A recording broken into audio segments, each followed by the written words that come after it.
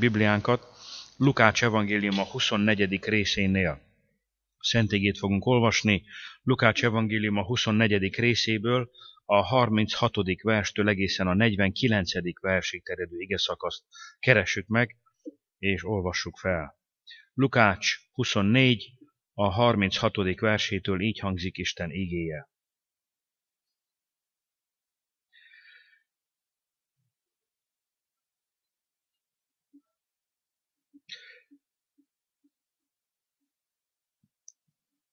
És mikor ezeket beszélék, megáll a maga Jézus ő közöttük, és mondta nekik, békesség nektek. Megrémülvén pedig, és félvén azt hívék, hogy valami lelket látna, és mondta nekik, miért háborodtatok meg, és miért támadnak szívetekben okoskodások? Lássátok meg az én kezeimet és lábaimat, hogy én magam vagyok. Tapogassatok meg engem, és lássatok, mert a léleknek nincs húsa és csontja, amit látjátok, hogy nekem van és ezeket mondván megmutatán nekik kezeit és lábait. Mikor pedig még nem hívének az öröm miatt, és csodálkozának, monda nekik, van-e itt valami ennivalótok? Ők pedig adának neki egy darab sült halat és valami lépesmézet, melyeket elvőn és előttük evék, és monda nekik, ezek azok a beszédek, melyeket szóltam nektek, mikor még veletek valék, hogy szükség beteljesedni mindazoknak, amik megirattak a Mózes törvényében, a profétáknál és a zsoltárokban én felőlem akkor megnyilatkoztatá elméjüket, hogy értsék az írásokat, és monda nekik, így van megírva, és így kellett szenvedni a Krisztusnak, és feltámadni a halálból harmadnapon, és prédikáltatni az ő nevében a megtérésnek és a bűnök bocsánatának minden pogányok között, Jeruzsálemtől elkezdve. Ti vagytok pedig ezeknek bizonyságai, és íme én elküldöm tirjátok az én atyámnak ígéretét, ti pedig maradjatok Jeruzsálem városában, még nem felruháztattok mennyei erővel. Amen.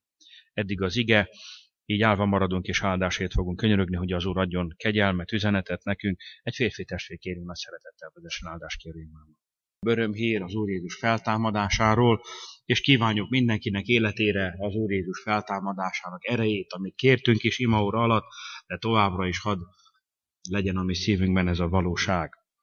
A felolvasott ige szakasz, ez a történet, amit felolvastunk Lukács evangéliumából, az Úr Jézusnak az ötödik megjelenését tartalmazza, és kívánjuk azt mindenkinek, hogy ebből a történetből is merítsünk olyan igazságokat, ami hasznos, ami szívünknek, lelkünknek ha tudna megerősíteni, reménységünket újból megeleveníteni a feltámadás emlékére, az Úr Jézus emlékére.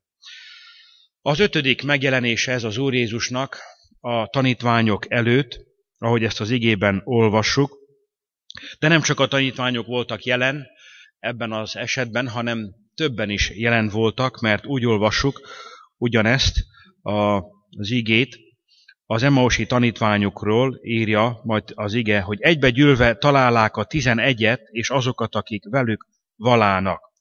És amikor megjelenik az Úr Jézus előttük, azt is tudjuk az igéből, ahogy olvastuk a 37. versben, megrémülvén pedig és félvén azt hitték, hogy valami lelket látnak. Látjuk itt a tanítványokat, lehet mi se viselkedtünk volna másképp. Ők még mindig a hitetlenség és a kételkedés bűnével küzdenek, és az Úr Jézust valami léleknek, valami szellemnek látják. A hitetlenség miatt a kételkedés miatt. De ez azóta így működik, a hitetlenség mindig torzítani fogja az Úr Jézus Krisztust. Nem úgy látjuk őt, amilyen ő a valóságban. Ez azóta megtörténik velünk is.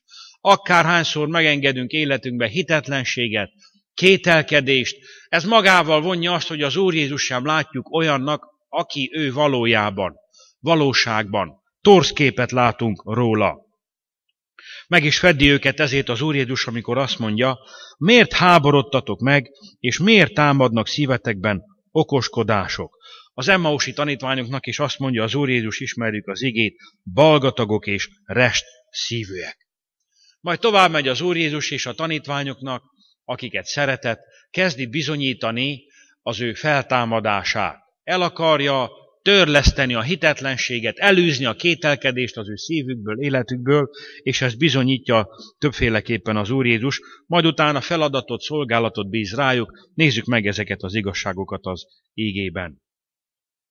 Három úton igyekszik bizonyítani az Úr Jézus az ő feltámadását, erősíteni ugyanezt a tanítványok szívében, és ez annyira fontos, és szükséges volt a tanítványok számára, hogy innentől kezdve aztán tényleg valóban minden kételkedés, minden hitetlenség elszáll a szívükből, és innentől kezdve válnak a tanítványok az Úr Jézus Krisztusnak bátor harcosaivá. Nem lesz már hitetlenség a szívükben.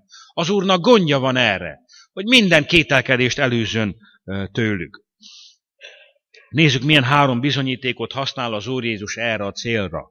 Hát először olvastuk a 39-40. versben, hogy bemutatja az ő sebeit a tanítványoknak. Jánosnál úgy olvassuk ezt, és ezt mondván megmutatá nekik a kezeit és az ő oldalát.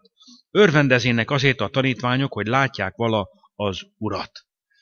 Ez volt az első bizonyíték. Gyertek ide és nézzétek meg ezeket a sebeket.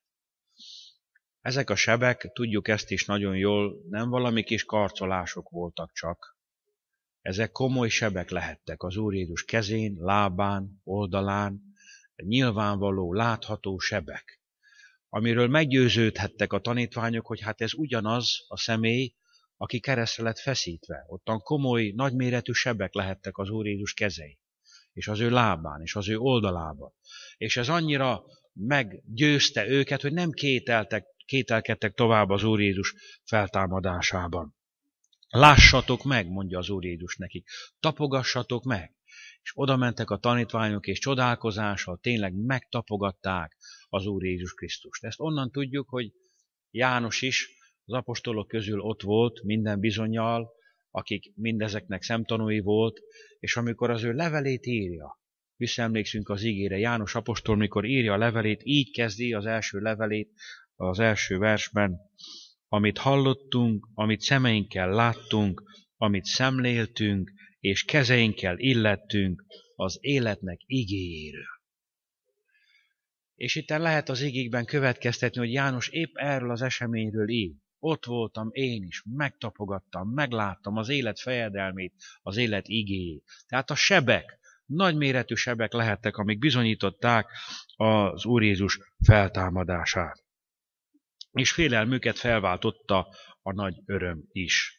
A második bizonyíték, amit használ az Úr Jézus, hogy erősítse a tanítványok hitét, az evés. Leülött előttük enni, halat, valamilyen lépesmézet, ahogy olvassuk itt az ígében, és ez is nagy bizonyíték volt a tanítványok előtt. Meggyőződtek, hogy na akkor ez már biztos nem lehet valami szellem, vagy valami lélek.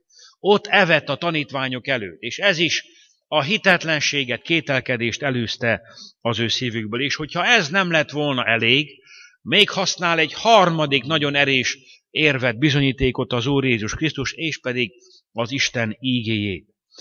Az Isten ígére hivatkozva bizonyítja az Úr Jézus a feltámadást. És csodálkozunk ezen, de a mi számunkra van ez megörökítve. Az Úr Jézus lehet, hogy elég lett volna neki, hogyha az ő személyével bizonyítja a feltámadást, de hozzáteszi azt is, hogy így kellett ennek történnie, mert meg volt írva Mózes törvényében, a profétáknál és a zsoltárokban, mondja ő, abban az időben ez alkotta a Szentírás, nem volt új szövetség. Ez volt az addigi kinyilatkoztatott ige, és erre hivatkozik az Úr Jézus Krisztus. És ez csodálatos, hogy Isten fia megint magasra emeli az Istennek a beszédét, amit nekünk is kell tenni, és nagyra értékelni. Ami meg volt írva, amit Isten elhatározott, kimondott, annak úgy kellett, hogy történjen. Az Úr Jézus a tanítványok között tudjuk nagyon jól egész életében az Isten beszédét hirdette, tanította, állandóan az volt az ő ajkain. Istennek a beszéde, Istennek a kinyilatkoztatott ígéje. Milyen jó lenne, ha minden ige hirdető ezt tenné. Csak az Isten ígéjét hirdesse. Félre a mesékkel, és félre az olyan beszédekkel a szószékről, ami csak az emberek fülének tetszik, hanem ott egyedül Isten igényének van helye. Mert ez az, ami a mi hitünket erősítheti, és lelkünket megtarthatja. Más nem, csak az Isten beszéde. Majd azt olvassuk, tovább az Úr Jézusról az ige azt mondja, akkor megnyilatkoztatá az ő elméjüket, hogy értsék az írásokat. Ez egy csodálatos kijelentés. Egy nagyon sokat mondó igevers, amit azóta is tapasztalunk, és tapasztalnak sokan már. Ha érteni akarjuk az írásokat, az Isten kinyilatkoztatott beszédét minden embernek szüksége van mennyei kinyilatkoztatásra. A Szentlélek megvilágosító erejére, hogy a mi értelmünket megvilágosítsa, hogy az ígéket értsük. Ez nem történik magától. Nem azért értjük meg, drága testvéreim, Isten beszédét, a Bibliát, mert mi olyan okosok vagyunk, vagy mert mi olyan értelmesek vagyunk, vagy mert mi olyan tanultak vagyunk. Az Isten beszédét csak úgy érthetjük meg, ha a Szentlélek megvilágosítja azt nekünk, és ez ér, érvényes minden emberre, bárhol és bármikor. Nagyon érdekes, hogy az Úr Jézus azt mondja itt az igében, hogy nem a különböző tudományok megértésére nyitja meg a mi értelmünket, ha bár lehet sokan azt szeretnék. Nem azt mondja Isten igéje, hogy megnyitja az értelmünket a fizika, biológia, kémia, meg mindenféle egyéb tudományok előtt. Lehet, hogy az is jó lenne. De nem erre van az embernek szüksége. Az is jó, ha ismerjük és tudjuk ezeket, de a mi lelkünket ezt tartja meg. Az Isten beszéde. És annak az értelme, hogy azt értsük meg, szívünkbe jusson. Ezért nagyon hálásak kell legyünk húsvét napján is, testvéreim, a Szentlélek megvilágosító munkájára. Nincs olyan szeminárium, teológia, vagy lelki pásztor, tanító, teológus, aki ezt nekünk adhatja. Egyedül a Szentlélek. Az Úr neve legyen áldott azért, hogy ezt teszi. Aki ezekben a tudományágakban jártas is, matematika, fizika, és az Úr áldja meg az ilyen hívő embereket is, akik jártasak ezeken a területeken, de jó, hogyha az ilyen emberek is az ő szívükbe zárják ezt az igazságot. Még hogyha tudnak nagyon sok mindent különböző területeken, de ezt kell az embernek tudni. Ez az egy szükséges dolog. A Bibliát megérteni, mert ezt tudja mi lelkünket üdvözíteni, és bevinni minket a mennyországban. Hóseás proféta mond egy olyat, ismerjük az igét, elvész az én népem, mert tudomány nélkül való. És itt tudomány alatt érti az Isten beszédét az Isten kinyilatkoztatott ígéjét. Nagyon fontos. Aki nem ismeri, nem érti a Bibliát, fennáll a veszélye annak, hogy el fog veszni. Ezért nagyon fontos a Bibliát kézbe venni, olvasni, megérteni azt Isten segítségével. Így kellett szenvedni, mondja tovább az Úr Jézus, és így kellett feltámadni a Krisztusnak. Ahogy meg volt írva, szenvedni, meghalni, feltámadni. Ez a kettő az Úr Jézus halála és feltámadása alkotja keresztény vallásunknak az alapját. Enélkül összedől az egész. Minden más hiába való. Az ő halála és feltámadása, és mind a kettőt hirdetni kell bátran, mondja itt az ige, és ezekhez nekünk is ragaszkodni kell. Vagy miután ez megtörténik a tanítványokkal, csodálatosan az Úr Jézus, ahogy szokta, szépen, finoman elzavarja a kétségeket, a hitetlenségeket az ő szívükből, utána kezdi őket megbízni feladattal, szolgálattal. Így teszi ezt velünk is. És felkészíti őket az előttük lévő hosszú útra. Nagyon nehéz útra mire lesz szükségük nekik a szolgálathoz, és ugyanerre lesz nekünk is szükségünk, és minden embernek, ez azóta is igaz. Ahogy őket készítette az Úr Jézus, úgy készít minket is mindig a szolgálatra. Az első, a 36. versben úgy olvassuk, azt mondja nekik, békesség néktek. Ha ugyanezt az ige szakaszt olvasok Jánosnál, ott kétszer is mondja nekik, békesség nektek. És ez megint egy elengedhetetlen dolog mindannyiunk szívében. Nem fogunk tudni Istennek szolgálni, ha nem lesz békesség a szívünkbe. Hogyan is tudnánk mi másokat kibékíteni Istennel, ha mi nem vagyunk kibékülve Istennel? Ott kell legyen a szívünkben ez a mennyei békesség, ami nem függ világi körülményektől, nem függ attól, hogy mennyi anyagi javaink vannak, vagy milyen érzelmi állapotban vagyunk, egy mennyei békesség, Krisztusi békesség, amit az Úr adni akar nekünk is ma. Legyen a mi szívünk nyitva az Úr békessége felé. Az Úr áldja meg a gyülekezetet, az ő népét, mindannyiunkat ilyen Krisztusi békességgel. Minden értelmet meghaladó békességet tud adni az Úr Jézus Krisztus. Akkor a második szükséges dolog a szolgálathoz nem csak a békesség, hanem erő, lelki erő. Vegyetek szent lelket, és rájuk lehet, és adott neki lelki erőt.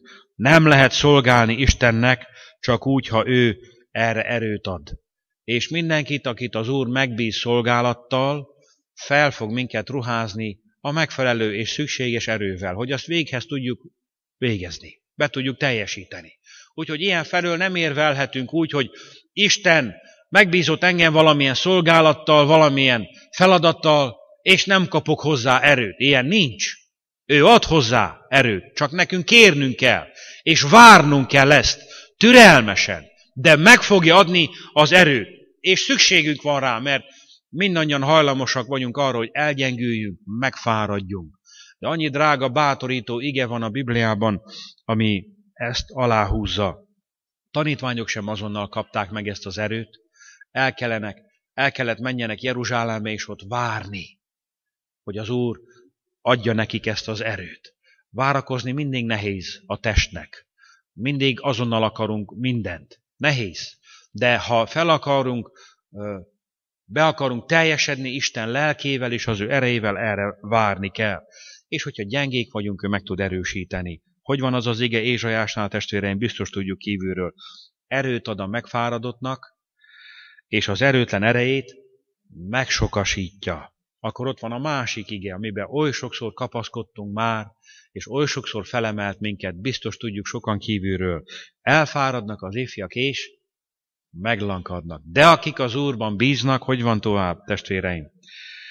Erejük megújul, szányra kelnek, mint a saskesejük, futnak és nem lankadnak meg, járnak és nem fáradnak el. Kedves testvérem, barátom, ha meg, úgy érzed, meg vagy gyengülve, el vagy fáradva, jönni kell az Úrhoz, ott van minden erőnek a forrása, az Úr Jézus Krisztusnál. Az Úr adjon nekünk erőt. Majd utána az igében, ahogy olvassuk tovább, példát és mintát hagy az Úr Jézus a tanítványoknak, hogy hogyan is töltsék be ezt a szolgálatot a gyakorlatban. Lefekteti az Úr Jézus az ige hirdetésnek a szabályait. Lehet nem gondolunk mi erre, amikor ezeket az igéket olvassuk, de itt az van, és nagyon jól teszi minden ige hirdető, vagy bizonságtevője az Úr Jézusnak, hogy ezeket az ige verseket, kettő vagy három, nagyon jól tanulmányozza, hogyan kell az igét hirdetni. Hogyan hirdessük? Azt mondja itt az igében az Úr Jézus, prédikáltatni, 47. versben olvassuk ezt, és prédikáltatni az ő nevében. A prédikálás egy nyilvános hirdetést, kijelentést, hírközlést jelent. És itten az eredeti szövegben is nyilvános hirdetésről van szó. Nyilvános prédikációról van szó.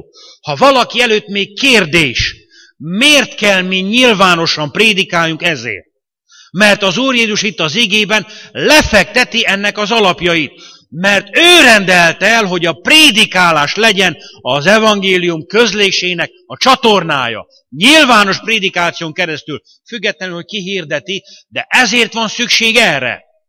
Miért mondom én ezt, testvéreim? Mert nyugaton persze, meg lehet máshol is, egyre inkább ezekben az időkben veszik ki sok helyen a prédikációkat. És jó dolgokkal érvelnek, és azt mondják sok helyen, hogy hát nem kell nekünk annyiszor gyűlni, prédikációt hallgatni, vannak házi csoportok, mehetünk egyik család a másikhoz, és akármilyen jók a házi csoportok, és biztos, hogy jók. Házoknál, családoknál is lehet gyűlni, és ottan beszélgetni, és imádkozni, és a Bibliát tanulmányozni biztos. De egyik sem tudja pótolni a nyilvános prédikációt. Kell, hogy Isten népe együtt legyen, és kell, hogy prédikálva legyen az Isten beszéde. Nem azért, mert a papok kitalálták ezt, vagy a lelkipásztorok, hanem mert az Úr Jézus így hagyta meg. Prédikáltatni az evangéliumot nyilvánosan. Nagyon fontos, és ragaszkodjunk ehhez ezekben az időkben. És még azt is megmondja az Úr Jézus, kinek a nevében kell prédikálni. Hát az ő nevében. Ez adja meg a prédikálás autoritását, felhatalmazását, hogy az ő nevében hirdethetjük az igét.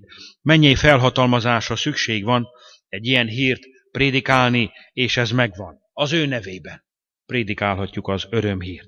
És még azt is lefekteti az Úr Jézus, nem csak hogy hogyan, mit kell nekünk prédikálni. Ja, de csodálatos igevers. Bárcsak minden bizonyságtevője, ige hirdetője az Úrnak írná be, vésni oda a szívébe ezeket az igéket. Azt mondja, a megtérést és a bűnöknek a bocsánatát. Na erről szól a prédikáció, erről kell szóljon a prédikáció. Félre az összes többi mesékkel és mindennel, amiben nincs ott az Úr Jézus Krisztus, nincs ott a megtérés, nincs ott a bűnöknek a bocsánata. Az embereknek, ha üdvösséget akarnak, meg kell térniük a bűneikből.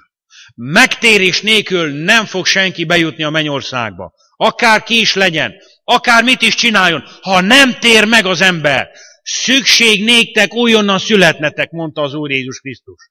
És mivel megtérés nélkül nem lehet üdvözülni, ezért minden prédikációban ott kell legyen a megtérés. Megtérésre való felhívás. Az, hogy legyen az embernek újjászületett élete. Kérni kell Istentől ezt, és ő megadja.